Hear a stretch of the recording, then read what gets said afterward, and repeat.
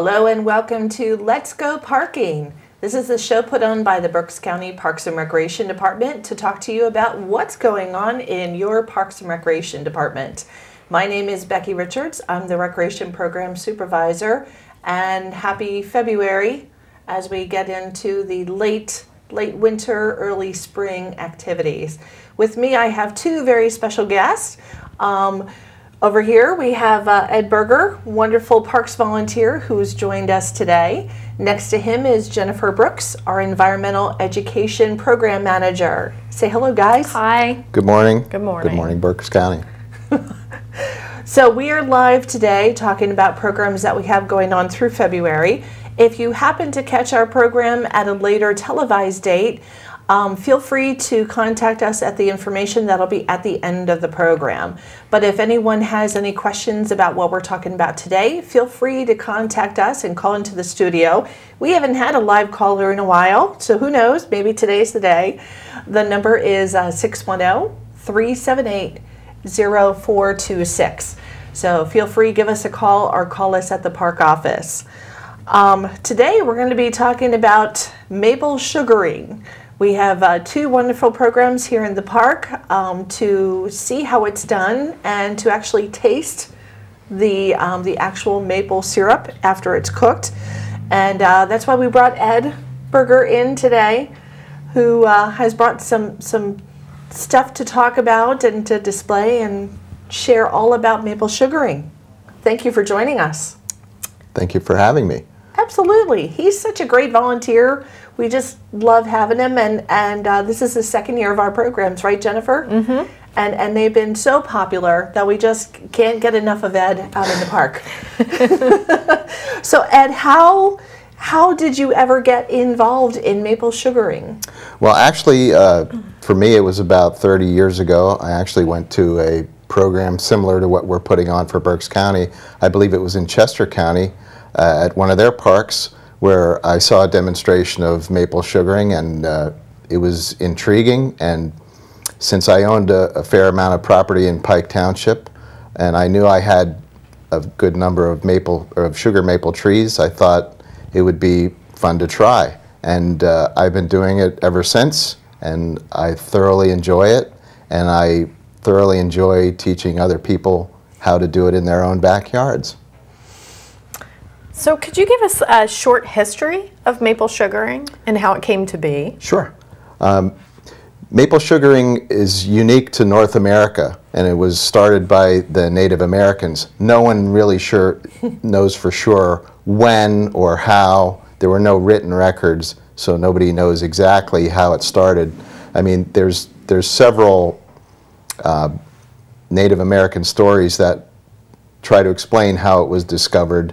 They're more, more like legends than fact. Uh, I can give you an example of one of them.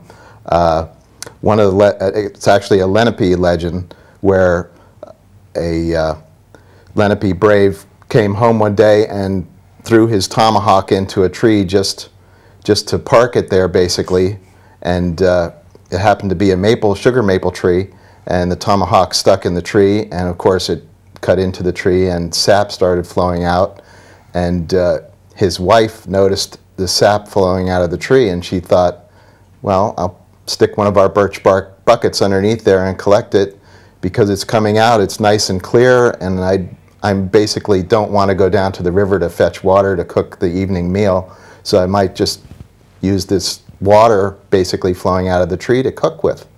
So the bucket soon filled up and she cooked the evening meal and after her husband ate the meal, he remarked on how wonderful the meat tasted, how sweet, and they realized that this basically sweetened water that they cooked their meat in flavored the meat and made it extremely delicious. And that's one way they discovered that cooking and boiling down the maple sap made a sweet, delicious treat. And you have to realize that the Native Americans at that time had very few sources of any kind of sweetness. There were no honeybees in North America at, at that time. Honeybees were brought over by the English immigrants. So they didn't have honey. They, their sources of sweetness were basically uh, the native fruits and stuff and berries and stuff like that. But uh, when they found that uh, maple sap could be boiled down into a very sweet concoction, they were thrilled because everybody's got a sweet tooth. They, we do. So you talked about a, uh, a sugar maple tree. Can you tell us about the different types of tree that you can tap? Sure. Um, there's a lot of different maple trees, and every pretty much everyone is familiar with what a maple leaf looks like. Just look at the flag of Canada, for instance. Um, if you're watching the Olympics right now, you see that a lot. Anyway, you can actually tap any kind of a maple tree. Um, they will all give sap. The sugar maple in particular is the one that you actually want to concentrate on because the sugar maple, as its name implies, has a much higher content of sugar in its sap than any of the other maple trees. You can still tap silver maples, Norway maples, big leaf maples, uh, anything that is a maple tree will give you sap, but the thing about sugar maples is their sap has twice as much sugar in it as any of the other ones. So it's a lot more economical to use that sap to boil down into syrup. Um, I hate to tell you this, but it actually takes 40 gallons of sap to make one gallon of syrup because that sap is only 2% sugar. So you actually have to boil it down uh, a far way to make it into syrup that we know today. Um, if you use sap, for instance, from a silver maple, that would take 80 gallons of sap, and you would expend a lot more energy boiling away all that excess water to get to the same concentrated syrup. So basically, you want to look for a sugar maple tree if you can possibly. If you have no other choice, go with the other trees, but if you have sugar maples, concentrate on them. Right. And you helped identify some of the trees within mm-hmm. our parks because we weren't sure. We had this great idea for this program and, and weren't sure, you know, if we had the right kind of tree. So you actually kind of helped walk out to some of our through our park areas I did. and checked out. To I did. See It took it took a little bit of searching because uh, in these well not in your in Grings Mill there are sugar maples all over that park. That would be an excellent place to set up a sugar shack and produce Mm-hmm. uh, maple syrup. Uh, out at Angora Fruit Farm, the sugar maples are very very wide widely spread out, and it took me actually a few hours to find a suitable tree that I could tap. yeah. But a lot of people's backyards, sugar maples are an ornamental tree that are often planted in people's yards. Uh, you'll often see them along the, the roadways and stuff like that. So they're very, very common. Right. And you had mentioned this has been a really good year for collecting sap Yes. this year as opposed to last year. Yes, last year was uh, pretty much an unmitigated disaster, um, b- and it's mostly because of weather conditions.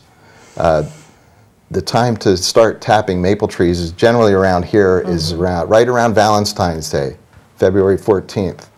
And uh, what you really want to be looking for for optimal sap flow are days that are sunny and warm, you know, 45, 50 degrees, and nights that go down below freezing. So that's typical of the weather we have from mid-February, oftentimes through mid-March or even later. Uh, the thing about last year was that we had immediately had weather that went up to 65, 70 degrees, and it lasted for a week or two, and that just kills the sap flow. Um, and I basically produced enough maple syrup last year just to let people taste at the both of the locations for the programs, and I didn't Yeah. have anything left over after that because the sap just stopped flowing. This year, so far, I've started just before uh, Valentine's Day, and the sap flow has been tremendous.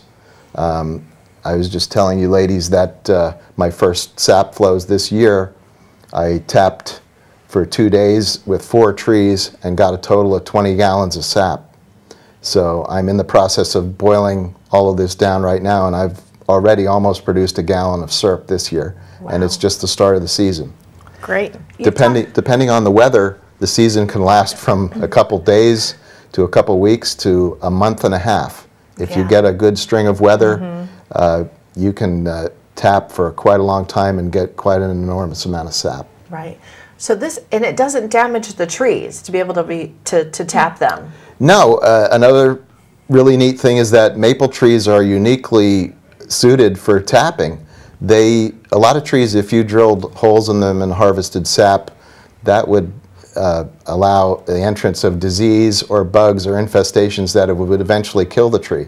But the maple trees have an innate ability to heal themselves. So after you've drilled a hole and and sit and tapped it and taken the sap and then removed your tap, within about a year to a year and a half, that hole will completely grow shut, and you'll just you'll see basically like a scar on the outside of the tree, but it will not affect the tree at all. The tree will go on happily, continue to grow, and continue to thrive. Nice. I know. I know you've talked about the different coloring of sap that you would get from the tree, or how when it's boiled down, it's going to make different different grades of syrup. Can you Yes. talk a little bit about that? Maple syrup. I'm jumping ma- around. maple syrup has different grades depending on what time you tap the tree. The first sap that comes out of the tree when you first tap it is the highest grade, makes the highest grade syrup. That uh, syrup is a very light golden color. If you can, you can see this is more of the golden type syrup. Liquid gold, would you call it? I call it, I myself call it nectar of the gods, and it's my favorite type of syrup.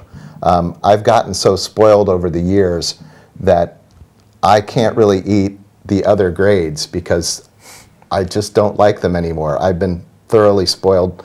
Um, the lighter syrup has a much, uh, not quite as an intense as a maple flavor, but it has virtually no bitterness to it at all. Now, the later you go on, like after the first week of sap flow, your syrup will start to darken in color, and it'll get to this more of a medium amber color. And this is still a very high quality syrup, um, and it's still extremely tasty. And this is very similar to the highest grades you find for sale in the store. Uh, it's still a very good. Now, when you get later in the season, the sap starts to turn more starchy, and your syrup degrades in quality, and it gets to be a more of a dark amber color. Now, depending on your personal preference, you may like one or the other. Some people actually enjoy the very dark syrup because they say it has more of a caramelized flavor, uh, more of a strong flavor. I personally can't tolerate it anymore. Um, I'm stuck on that first flow syrup. Uh, that's always been my favorite. So you brought some things with you today um, because you talked about um, drilling in the trees to get the sap to flow. Can you talk about some of the tools that you use Sure. to tap the trees? Sure, this, this is the process, and it's easy to do in your own backyard. It doesn't take any really special equipment. Uh, anybody can do it. Uh, basically, you have to find your sugar maple tree, and you want to find a tree that's at least 10 inches in diameter. The bigger the tree, the better. Um, a lot of uh, homes have giant maple trees in their yards because they're fast growing trees. Uh, and bigger trees I've found produce a lot more sap and uh, it's just a lot easier to use. Basically, you want to find that tree right around, uh, thank, not Thanksgiving, um, Valentine's Day, and you want to get a drill to drill into that tree. Now, this is the very, very old school. This is called a bit brace. Uh, this is like the antique way to drill a hole in a tree. And basically uses muscle power with a half inch auger drill bit. Okay. Now, today, these aren't used very much because they take a lot of energy to drill into a tree with these and you get tired really fast. Today, most uh, commercial uh, producers will use cordless electric drills, which are ubiquitous everywhere, and most people have something like that. You just find a half inch drill bit, put it in your cordless drill, go out, go right up about you know three or four feet from the base of the tree. You want to go onto the sunny side of the tree where it gets warmed by the sun because that increases sap flow. And you basically want to take your drill and hold it at a slight downward angle and drill right into the tree, oh, about two minutes or two uh, inches or so. And basically, after you do that, take the drill out, and you'll need, this is about the only specialized piece of equipment that you actually need, and this is called a spile. And where can you get something like that? You can easily get these on eBay anywhere, and they're cheap. They're basically a metal tube, a tapered metal tube that has a hole in the end. It has a little metal hook that goes onto it where you can hang you can hang a bucket from the from the hook. And basically it has a spout at the other end. And you basically want to take this put it in the hole, tap it with a hammer, make a good tight seal, and you'll be amazed under the right weather conditions you will see sap start dripping out of here. Sometimes it comes out almost like a gusher on good days. But the sap will start dripping out. And the sap itself will look just like water. Okay, it's completely clear. It's not syrup. It takes a lot of work to make it into syrup. But it'll come out clear, and uh, you can hang a bucket from here to collect the sap. What I do is I take clear plastic tubing, stick it over the spout and run it down into plastic storage containers on the ground. And I check these periodically every day or so and collect the sap and take it back home. Now, once you've got a good amount of sap, then you have to start the process of boiling it off. And to do that, you want to use something outside. A, a gas grill burner is fabulous for doing that. You do not want to boil the sap inside your house because you'll take the wallpaper right off your walls. It releases so much water in your house, it's not, not good for the interior of a house. Hmm. So basically you just take a large pot, fill it with the sap, put it on a, a burner on your gas grill, turn it on and let it boil away. You keep watch on it. I check my pots every, you know, hour or so. I refill it as it boils down. Uh, it will also create some foam if you've ever made jelly. You know, there's some foam when you cook it. You skim that off with a spoon and you just continue to boil it down. Continue to add fresh sap until you get to a point where it starts to boil down into the, more of a syrup consistency. And you'll notice that it's ready to be finished when it starts to boil and it really starts to be a rolling boil. Okay? Now once it gets to that point, then it is best to take it indoors to finish. So you can transfer that to your stove in your kitchen. Again, turn on the high heat, boil it away, and you'll notice that it will go from a rolling boil to almost like a fizzing boil, where it just kind of fizzes up and it, it, it rises up in the pot. And uh, you can either, I, I gauge its consistency just from my experience, but you can take a candy thermometer, put it in the pot, and when it reaches about 219 degrees, that's the point when it becomes syrup. Okay. Hmm. So once it, once it reaches that stage, take it off the heat, use a canning jar, any kind of jar will do. Um, you do have to strain the syrup as you put it in the jar. You can use cheesecloth or you can use some kind of a filter. But uh, you can filter the syrup right into the jar, seal it up, and it will stay for years and years. Wow. And I know you told us um, because we, we've seen the demonstrations of how the program works, you know, and how the boiling down is, but it, it takes hours. It does. Do. It take it's it's a commitment. It takes a lot of time. It takes a lot of energy. Um, you can understand now why maple syrup is so expensive in the store. Uh, it takes a tremendous amount of work to and energy and cost. Yeah. Uh, you know, for fuel wood to burn it down, to boil it down, or propane, or however you want to do it. Um, it takes a lot. It, it's a significant economic investment to make maple syrup.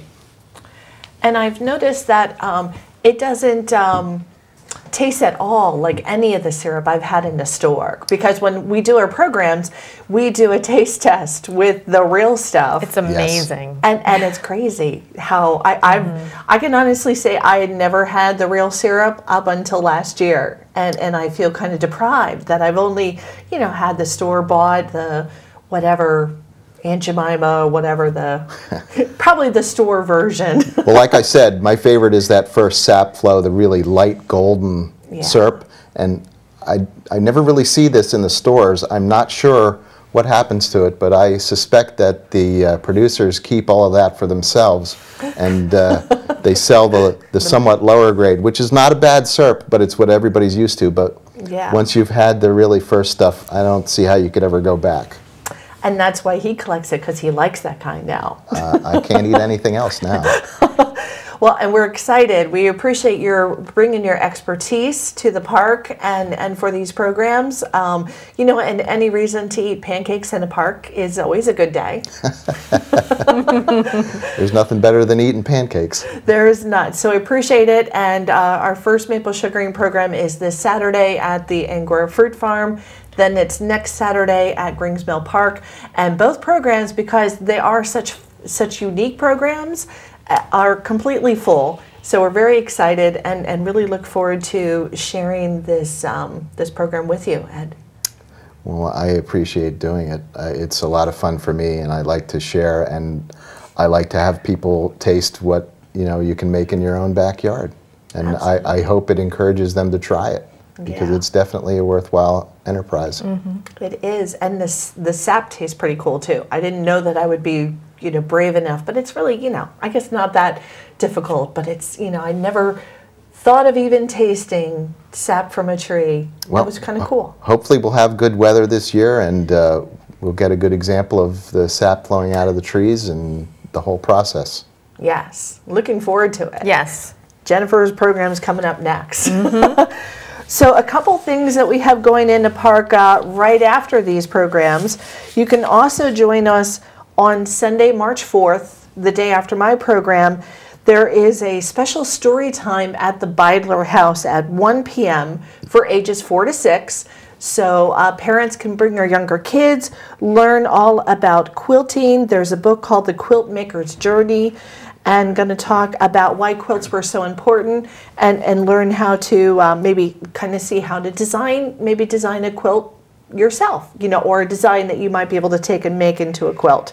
So that's going to be very good. That's a free program on Sunday, March 4th at the Beidler House at 1 o'clock. We do need you to call to register. So you're going to call the Berks County Heritage Center at 610 374 8839. Then um, later on in March, we have our first Paws on the Path. It's a walk with your puppy on Sunday, March 18th, out at Antietam Lake Park at 10 a.m. Um, it's a free program, but we do like to um, help out the organizations in our area. So if you want to bring a donation along for the Animal Rescue League, that would be much appreciated.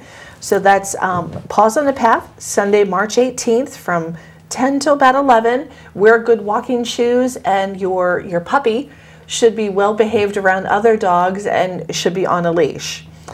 Um, and then coming up, one of our, our first bigger programs, I guess you could say, is Extravaganza on Saturday, March 24th. So, giving you a heads up, um, Saturday, March 24th at the Berks County Heritage Center from 12 to 3. Join us for a non Easter egg hunt Easter event. Come meet the Easter Bunny, come decorate some eggs. Um, we'll have the Reading Jugglers Club there, some pony rides, a petting zoo, um, all kinds of fun. So bring your own camera, get to see the Easter Bunny and uh, get a photo. Bring your own camera for that. Um, it is a free program, free parking. So very good. And then we should have a list of all our 2018 programs to be able to share. I know Jennifer and I and others have been hard at work planning all the programs for the year ahead. A um, lot of good things coming up. So if you come out on Extravaganza, we should have a list to be able to start sharing what great, great programs that we have going on. You know we didn't do, Jennifer? We didn't share a couple, some great photos. Can we show maybe just a couple photos here of Ed in action doing maple sugaring? Here we go. Here he is out at the fruit farm, identifying and looking at trees. On a very chilly day. It was cold that day. very cold day. Um, I, I think ours was a little warmer. We had the sun going. Uh, it was very nice. Um, so here, here's Ed tapping the tree. Oh, I see Jennifer in the background. and I think, did you guys get sap that day? I know We didn't. We did not, unfortunately. that was a poor year. We Here- had a great turnout um, considering the cold weather. We still had a full crowd. Yeah, we had, um, here he is at Grings Mill, again, a full crowd. Um, so hopefully this year is going to be better. So we're already getting the nod um, that we've, you know, are we're out of time.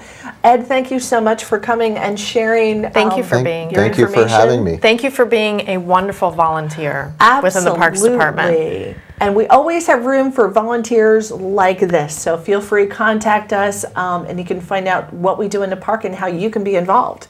So till next time, we'll see you in March uh, for Let's Go Parking. Everybody have a great day.